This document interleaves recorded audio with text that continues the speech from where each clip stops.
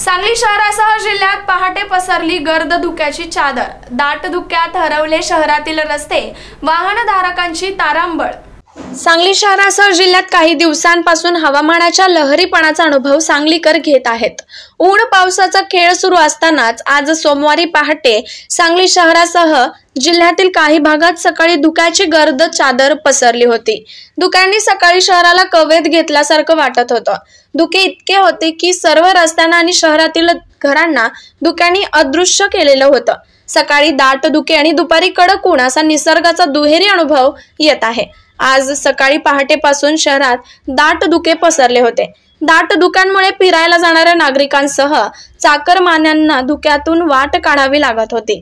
दाट धुकं असल्यामुळं पहाटे वाहनधारकांना जात असताना तारेवरची कसरत करावी लागत होती. अखेर सकाळी आठ वाजले तरी सूर्यदर्शन झालं नव्हतं. Bureau report SBN Marathi Sangli.